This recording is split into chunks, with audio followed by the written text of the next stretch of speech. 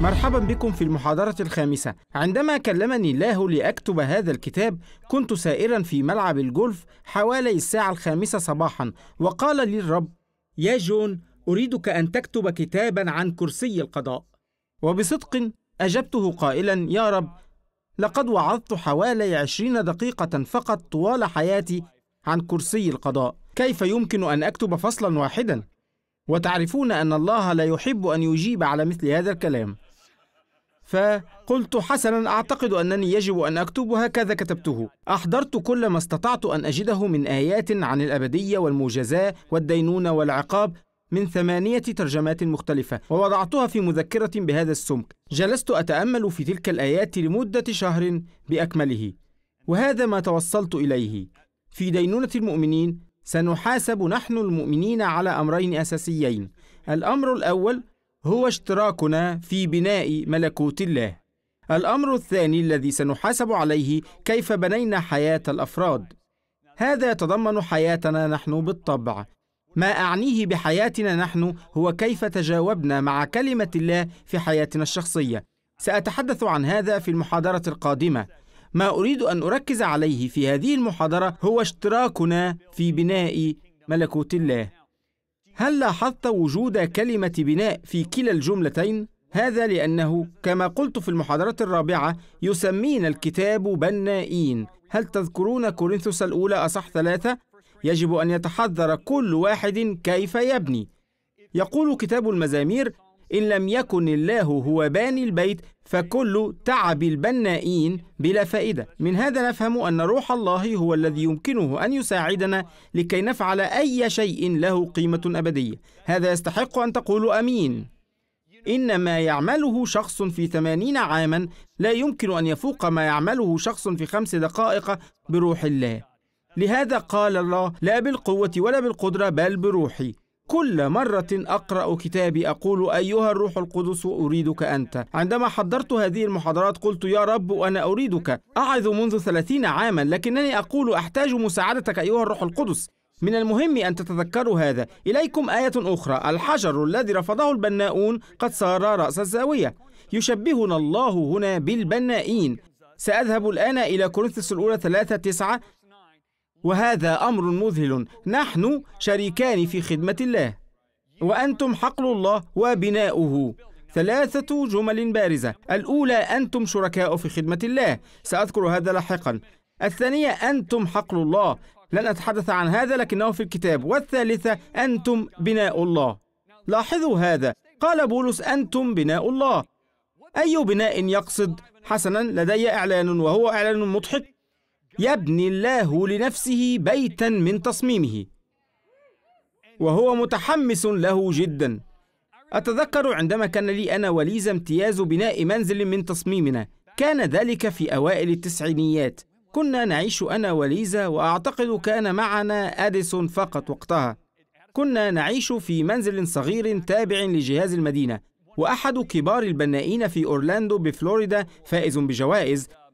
كان قد تأثر جدا بكتاب فخ إبليس. رآني في إحدى عروض المنازل لأن ليزا تحب أن تشاهد المنازل وتحلم. وقال جون بيفير سمعنا من يصرخ باسمي. فخ إبليس. فقلت حسنا. فقال أريد أن أبني لك بيتا لله. فقلت بيتا لله؟ ما معنى هذا؟ فقال لن أكسب قرشا. فقلنا عجبا. وبعد يومين أتى إلى منزلنا هذا التابع للجهاز. ووضع ورقة بيضاء على الطاولة. ارسما منزل أحلامكما. فنظرنا إلى بعضنا لأننا اعتدنا على منازل الجهاز فلا يمكن تغيير هذا أو ذاك. فقلنا حقا وبدأت ليزا تعمل أعتقد أنني رسمت المكتبة والجراج وهي أكملت. وأرسلت تلك الشخبطة التي في الورقة إلى مصممين فأصبحت مخططات. وعندما بدأوا في بناء المنزل كنا أنا وليزا نذهب إلى مكان العمل كل يوم. كنا متحمسين جدا ونحن نرى ما كنا نحلم به يقف أمام أعيننا. هذا شعور الله لبيته. لقد صمم بيته منذ تأسيس العالم. إنه يأتي إلى مكان العمل كل يوم ليراقب ما يحدث. لكن الله فعل شيئا لم نفعله أنا وليزا. لقد وضع اسما على بيته. ليتنا فكرنا في هذا مثل ذلك الشخص الذي يعيش في واشنطن. لقد سمى بيته البيت الأبيض والمرأة التي في إنجلترا. أطلقت على بيتها باكنغهام ونيكولاس كيج أطلق على منزل فراير بارك. أطلق الله اسما على بيته. ما هو اسم بيت الله؟ صهيون. قولوا صهيون. حسنا انظروا إلى هذا. يقول هذا لأن الله اختار صهيون فهناك يريد مسكنه. هذا مكان راحتي. مسكني إلى الأبد لأنني اخترته. هل ترون مشاعره تجاه بيته؟ وكأنه يقول صممت هذا البيت منذ زمن أنا متحمس لأكمله. عندما تكون بناء بيوت وتبني بيتا من تصميمك ما أول شيء تبدأ به؟ قولها الأساس. يقول إشعياء أضع في صهيون حجر أساس. قولوا حجر أساس. هذا هو بيته الذي صممه. حجرا قويا حجر زاوية ثمينا وأساسا متينا. من هو؟ يسوع هو أساس بيت الله وحجر زاويته. لكن تذكروا قال البيت هو نحن. إن كان يسوع جزءا من مادة بناء ذلك البيت هذا يعني أننا جزء من مادة بناء البيت. ماذا يقول الكتاب؟ انظروا إلى بطرس الأولى. يسوع المسيح هو الحجر الحي ثمين لدى الله. فإذ تقتربون منه كونوا أنتم أي نحن أيضا حجارة حية لبناء هيكل روحي. أليس هذا شيقا؟ نحن جزء من مادة بناء سوف يسكن الله فيه للأبد. إن نظرتم إلى ما يقوله بولس إلى أهل أفسس سترون وأنتم بناء. هل تفهمون هذا؟ مبني على أساس الرسل والأنبياء أما حجر الزاوية فهو المسيح يسوع نفسه وهو الذي يجعل البناء متماسكا معا ليرتفع ويصبح هيكلا مقدسا للرب. هذا شيق. حسنا. ماذا قال بولس أيضا؟ ليس فقط إننا مواد البناء بل إننا أيضا شركاء الله في العمل هل أعطيكم تعبيرا مناسبا أكثر؟ نحن مقاولون من الباطن والآن ما معنى مقاولين من الباطن؟ إنهم عامل الكهرباء والسباك والنقاش والنجار إنهم البناؤون الحقيقيون إن أردت أن تعرف الحقيقة عندما بنى بوب بيتنا لم يدق فيه مسمارا واحدا. لم يضع قالب طوب واحد بل العمال. هم من بنوا البيت. إذا من سيكون رئيس العمال في بناء بيت الله؟ من سيكون قائد العمال؟ سيكون يسوع. غلاطي أربعة أربعة عندما جاء الوقت المناسب أرسل الله ابنه. قال يسوع أنجزت العمل الذي كلفتني به. كم شخص منكم يعرف أن تنظيم مواعيد عمل العمال أمر مهم جدا؟ إن أحضرت النقاش قبل عامل الكهرباء تحدث مشكلة كبيرة. لقد نظم الله مواعيد عمل العمال جيدا في بناء بيته لأن يسوع هو رئيسهم. لهذا يقول الكتاب إن يسوع أتى في الوقت المناسب. أترون هذا؟ قال يسوع قد أنجزت العمل. قولوا العمل مرة أخرى. أريدكم أن تتذكروا هذه الكلمة لأنها مهمة. قد أنجزت العمل الذي كلفتني به. تعرفون؟ قال الرسول بولس نفس الكلام. تذكرون حين قال بولس هذا؟ قال أنهيت السباق. كيف يمكنك أنت أن تقول أنهيت سباقي؟ الطريقة الوحيدة لتقولها هي أن تعرف المسار. هل ركض أحد منكم في سباق من قبل؟ ففي السباق المتسابقون لهم خريطة للمسار إن كنت لا تعرف هذا المسار ماذا سيحدث؟ ستبدأ الجري وتستمر تجري وتجري حتى تقع ولكنك لن تنهي السباق. يجب أن تعرف المسار لكي تنهي السباق. قال بولس أنهيت السباق لأنه كان يعرف المسار. قال يسوع أنجزت العمل. هناك الكثيرون يقولون هذا يسوع ولد عارفا ماذا ينبغي أن يفعل، ليس عذرا. لقد أخلى نفسه وأتى إلى هذه الأرض كابن الإنسان. قال يسوع في يوحنا خمسة أعمل إرادة الذي أرسلني. كان عليه أن يسعى إلى إرادة الآب مثلنا. والآن ماذا عنا؟ كوننا مقاولين من الباطن مع الله. ماذا يقول الكتاب عنا في أفسس اثنين؟ فنحن عمل يدي الله الذي خلقنا في المسيح يسوع للسلوك قولوا سلوك. في أعمال صالحة. قولوا أعمال. أعدها لنا مقدما. لاحظوا أنه لم يقل خلقنا على أمل السلوك في تلك الأعمال الصالحة بل للسلوك في الأعمال الصالحة. والآن لاحظوا أعد الله عملنا كمقاولين مقدما. منذ متى أعده؟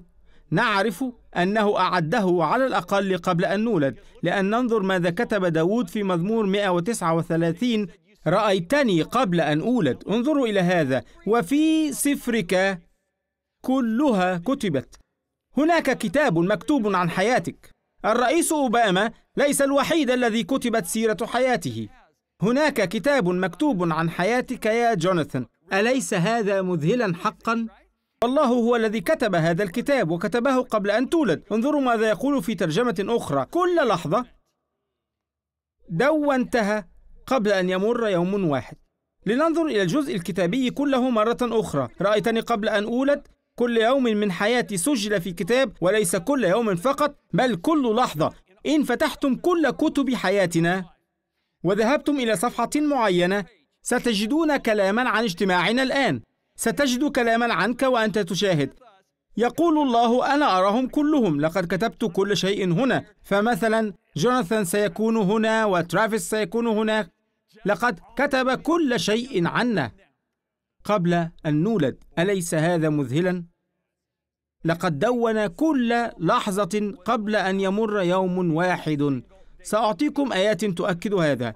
لو تذكرون قال الله للنبي إرميا هذه الكلمات قبل أن أشكلك في الرحم عرفتك وقبل خروجك من بطن أمك خصصتك لخدمتي. ويأتي هذا مرة أخرى في كلمات بولس ولكن لما سر الله الذي أفرزني من بطن أمي. المشكلة الكبيرة التي أجدها في كل سفرياتي وفي كل معاملاتي مع الناس في الكنائس خاصة مع رجال الأعمال والتجار وأمهات الأطفال هي أن هناك فكرة في هذه الكنيسة تقول إن القساوسة والمعلمين وقادة العبادة وخدام الكنيسة فقط هم من لديهم دعوة ليخدموا. لا هذه كذبة.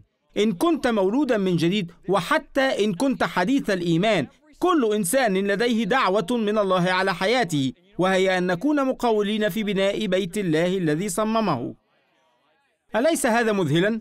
لذا لا أريدك أن تقول أنا لدي وظيفة لا لا لا لقد وضع الله يده على حياتك لتبني بيته الذي صممه آمين؟ هل يمكن أن تقولوا أمين؟ إذا لقد وضع الله هذه الخطة قبل أن نولد وكتبها في كتاب عن حياتنا. إذا هناك كتاب اسمه أليك بيفير. كتب الله فيه كل حياة أليك. السؤال الآن هو وسأخرج أليك من المعادلة الآن هل سنتمم ما كتبه في كتابه؟ حسنا. إن نظرتم إلى كتاب الجامعة هذا مذهل. تتحدث هذه الآية في كتاب الجامعة عن سيادة الله. قلوا جميعا سيادة الله. علمت أن أي شيء يفعله الله سوف يدوم. ما من أحد يزيد عليه أو ينقص منه. فعل الله هذا لكي يهبه البشر. ماذا يقول؟ يقول الله أنا صممت بيتي منذ البداية ولن يوقف أحد تتميمه. بيتي سوف يكتمل. هذه سيادة. لكن في العدد التالي يتحدث عن الإرادة الحرة. انظر ماذا يقول. ما كان أي ما نحن فيه الآن فمن القدم هو. تذكروا أننا جميعا الجالسين هنا معا الآن. إن قرأت كتبنا ستجد اجتماعنا. ما كان فمن القدم هو في فكر الله. وما سوف يكون أي مستقبلنا فمن القدم كان. كتب الله ذلك في كتاب قبل أن تبدأ أيامنا. لكن انظروا إلى هذا والله يطلب ما قد مضى. بمعنى هل تممنا ما قد كتبه لحياتنا أم ذهبنا في طريق آخر اخترناه؟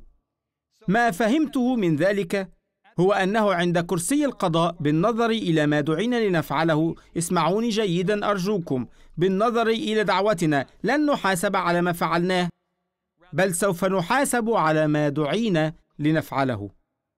هل تتابعونني؟ هل أنت أو شخص آخر تتحدثون غير الإنجليزية؟ هل تريد المزيد من تعليم جون وليزا بيفير؟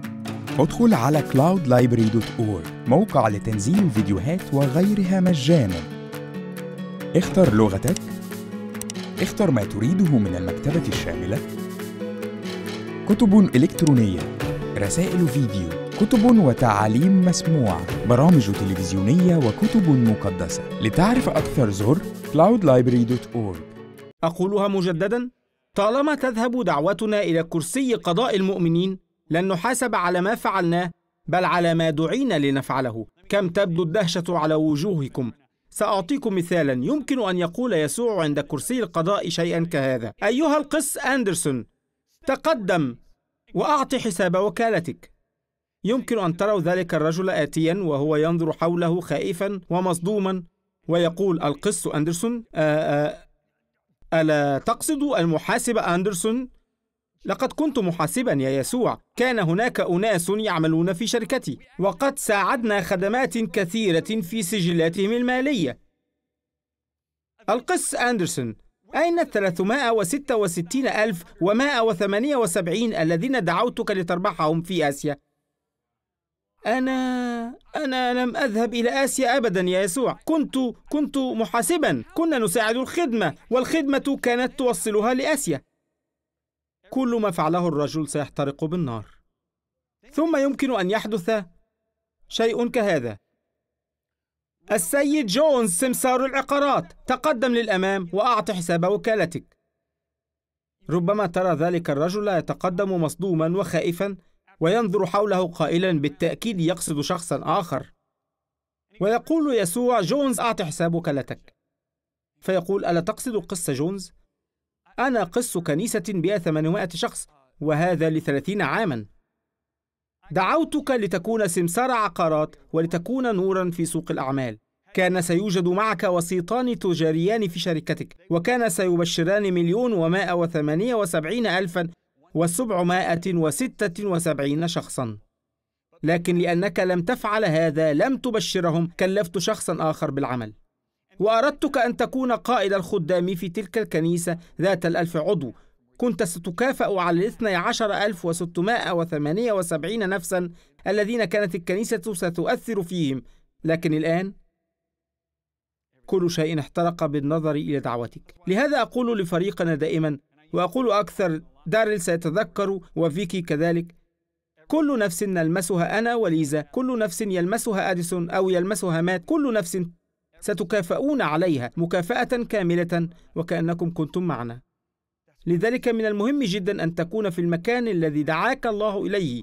لكن إن حاولت أن تفعل ما تريده هل تفهمون هذا؟ ربما يحدث هذا. الأخت جونز تقدمي أعطي حساب وكالتك. فتتقدم المرأة وتقول يا يسوع لقد كتبت كتابا وأقمت العديد من مؤتمرات المرأة. أين الثلاثة أطفال الذين دعوتك لتربيهم؟ اشتراكك في دائرة الحديث جعلك تهملين أولادك. الخمسة ملايين ومائة وثمانية وسبعين ألفا وسبعمائة وستة وسبعين نفسا الذين كانوا سيؤثرون فيهم. كنت ستكافئين عليهم لكن كل شيء احترق. لن نحاسب على ما فعلناه. بل على ما دعينا لنفعله. لدي قصص كثيرة عن هذا الأمر. من أشهرها قصة أثرت في وشددتني وهي عن أحد أصدقائي المقربين الذي يرعى كنيسة في كارولينا الشمالية. لديهم حوالي أربعة آلاف شخص. كنا مقربين جدا وقتها لسنوات كان يخدم في مجلسنا. اتصل بي مرة وقال جون يجب أن تسمع ما حدث في الكنيسة. قلت ماذا حدث؟ قال كان هناك رجل يحضر كنيستي منذ ستة أشهر. كان دائما مظهره مميزا وملابسه أنيقة وكان شعره رماديا. و تلك الكنيسة رائعة. لاحظت وأنا أعظ فيها أنه يخلص فيها حوالي 100 إلى 120 شخصا كل أسبوع. حسنا. قال كنت أشاهد الدموع تجري على وجنتي بعض الناس للخلاص وقال لكن يا جون لقد شعرت أنها ليست دموع الفرح بل الحزن قال لكن الروح القدس نبهني كنت سأذهب لأتحدث معه لكن الروح منعني. وبعد ستة أشهر أتى ذلك الشخص إلى واحد من القساوسة المساعدين وقال في عام أعتقد أنه في الثمانينيات كلمني الله في الصلاة لأنشئ كنيسة هنا في كارولينا الشمالية في مدينة فيتفيل. وقال حلمت بها ورأيت مبنى الكنيسة التي يجب أن أبنيها. كان الأمر جد حقيقي فذهبت إلى مهندس وسألته إن كان يقدر أن يقوم بالتنفيذ الفني. وبدأت الكنيسة وواجهت الكثير من المعارضات وفي النهاية أغلقتها. لم تكن تتقدم أبدا. أريد أن أقول لكم شيئا. عندما يقول لك الله أمرا انظر إلى بولس لقد حاول مرتين أن يذهب إلى مكانين مختلفين ثم حلم حلم الرجل المكدوني. وعندما صلى لأول شخص في مكدونية لكي يطيع الله قبض عليه وألقي في السجن. وهناك سبح الله وانفتح السجن.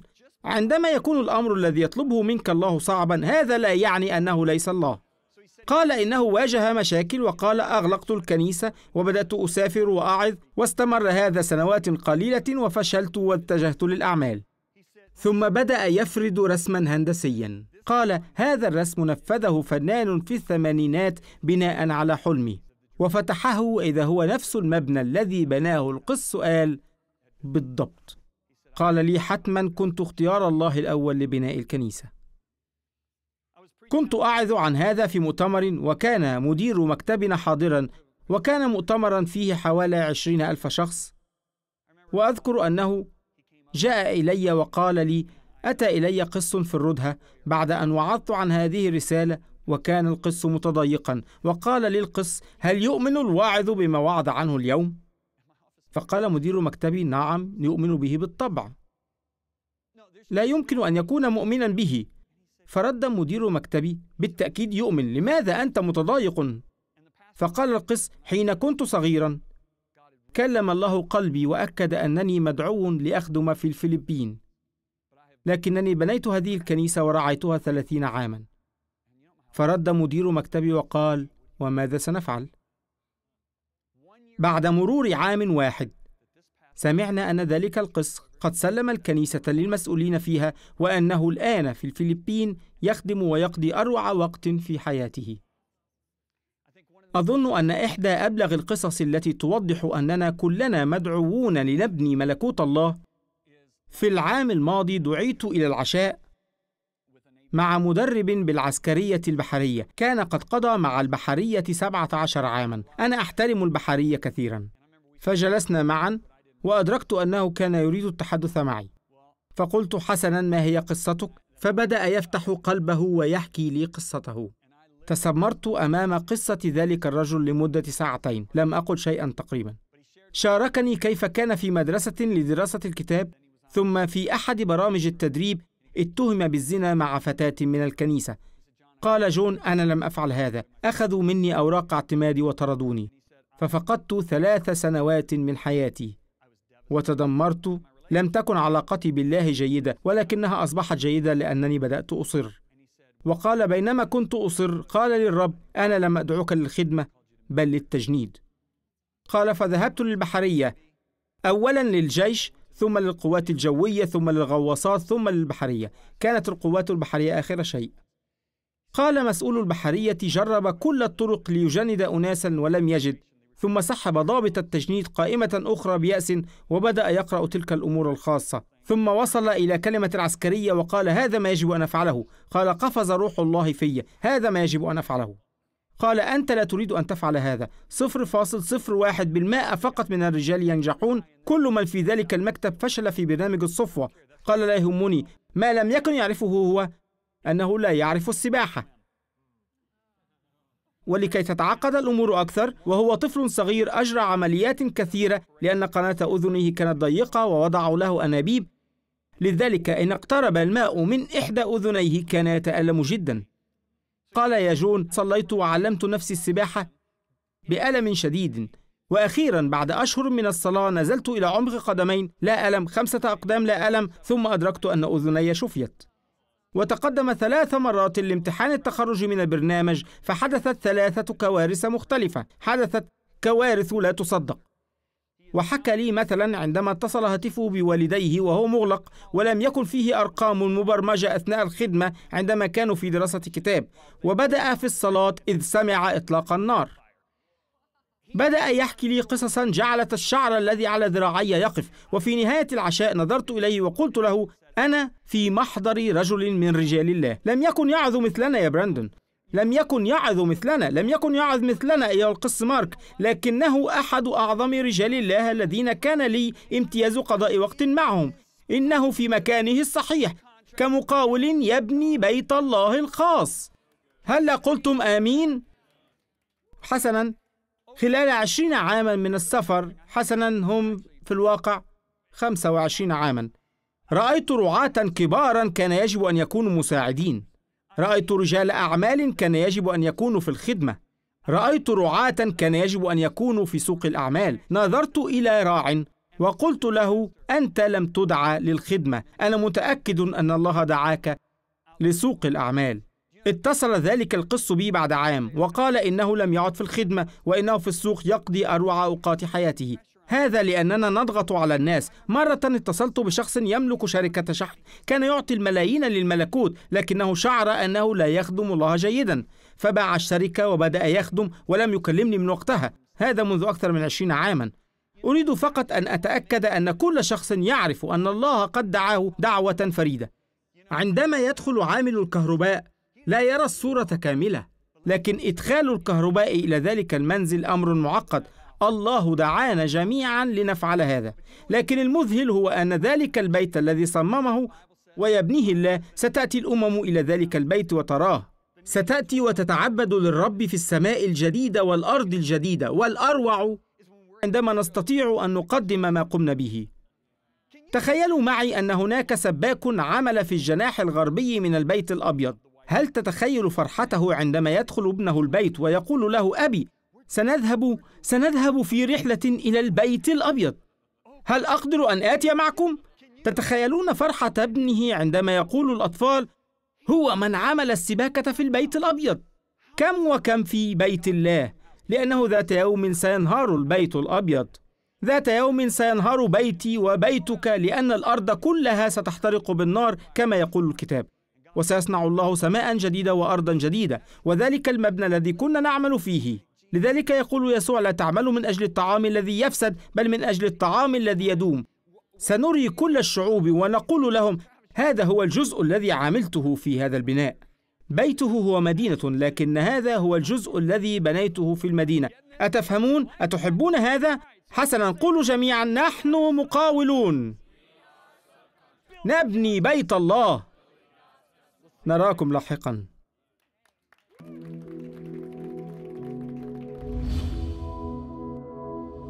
الآن ربما تفكر بعد هذه المحاضرة كيف أعرف ما دعيت له.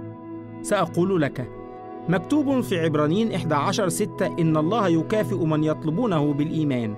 لم يقل الله يكافئ من يطلبونه بإهمال وبشك.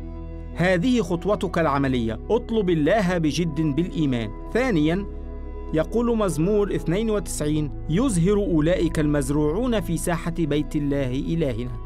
عندما تزرع بذرة تفاح لا تحصل على شجرة خوخ. عندما تزرع في كنيسة محلية ستزهر لتصبح ما أراده الله لك. وثالث أمر هو لا ترتبك بسبب العلاقات أو الاحتياج للأمان أو نقص المال. هذه الأمور ستخنق ما أراده الله لك. أشجعك أن تطلب الله بجد وتأكد أنك مزروع في كنيسة محلية. وشاهد حياتك وهي تزهر إلى ما صممك الله وخلقك لتكون عليه وتفعله.